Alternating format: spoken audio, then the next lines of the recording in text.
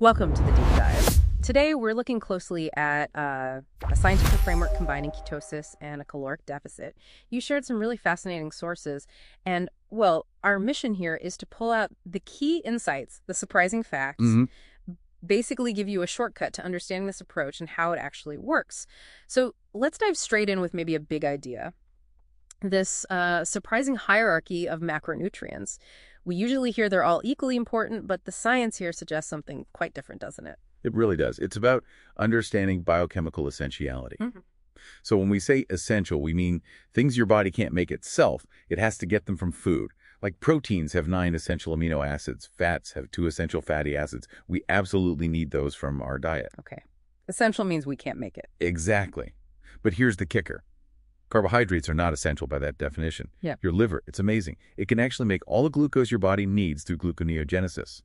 Even if you eat zero carbs. It's a, well, a fundamental shift in thinking about fuel. That's huge. Especially, I mean, everyone talks about the brain needing glucose, right? Being a glucose hog. Hmm. If the body makes its own, what happens with the brain's energy supply then?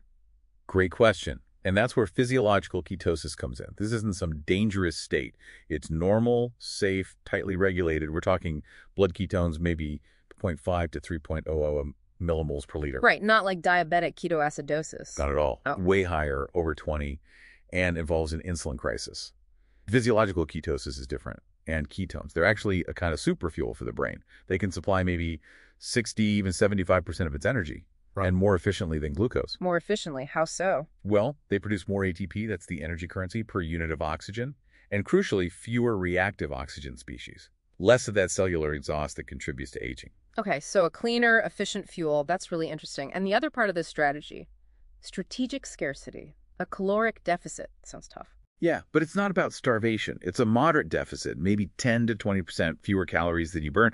Think of it as a signal. It tells your body to activate some powerful programs for um, housekeeping, Housekeeping. like autophagy, literally self-eating. Your cells clean out old, damaged parts. It's quality control.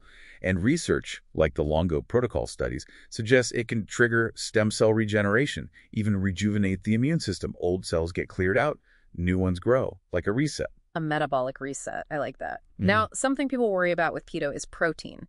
This idea that eating too much protein knocks you out of ketosis. Is that a real concern? That's a really common myth tied to gluconeogenesis. The fear is protein just turns straight into sugar. But the process is demand-driven, not substrate-driven. Your body only makes glucose from protein if it genuinely needs it. So it's not automatic. Right? Like a 50-gram protein meal might only result in maybe 2 grams of new glucose, Mhm. if that. Protein is actually vital. It helps preserve lean muscle mass, which keeps your metabolism humming, and it helps you feel full. Generally, 1.0 to 1.5 grams per kilogram of body weight per day is a good target. Okay, so protein is a friend, not a foe here. Yeah. But how do you actually figure out the calorie part? Those online calculators seem iffy. They can be a starting point, yeah, but definitely not the final word. For estimating your resting metabolic rate, the Mifflin-St Jeor equation is generally considered more accurate these days. Maybe 70-82% accuracy. Better than older ones.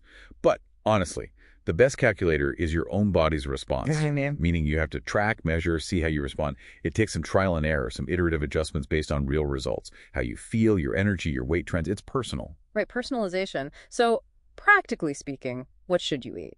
And how do you tailor it? Focus on real, nutrient-dense whole foods. Hmm. That's key. High-quality proteins, think fatty fish, eggs, grass-fed meats, healthy fats, avocado, olive oil, nuts, seeds, and lots of low-net carb vegetables. Spinach, cauliflower, broccoli, greens. Things under 5 grams net carbs per serving. And tailoring it. Yeah, personalization matters. Women might need a slightly more moderate approach sometimes because of hormones. Older adults might benefit from slightly higher protein to fight muscle loss, sarcopenia. And of course, your activity level changes everything. More active means needing more fuel. And crucially, monitoring is important. Check blood ketones, aim for that 0.5 to 3.0 range. Maybe track glucose too. Consider advanced lipid panels like LDL particle number or ApoB for a better cardiovascular picture than standard cholesterol. And please, please talk to a qualified healthcare professional before starting something like this, especially if you're on medications for diabetes or blood pressure. Adjustments will likely be needed. Good point. Safety first. Absolutely. Oh, and manage your electrolytes, sodium, potassium, magnesium proactively. It helps avoid that initial keto flu. Okay, so wrapping up, this framework, leveraging ketosis and a mild deficit, it seems to have real scientifically grounded potential, doesn't it, for metabolic health, maybe even tackling chronic issues. It really makes you think. By understanding these deep principles of your own metabolism, fuel use, scarcity signals, nutrient needs, what kind of health, what vitality could your unique system unlock? Something definitely worth considering.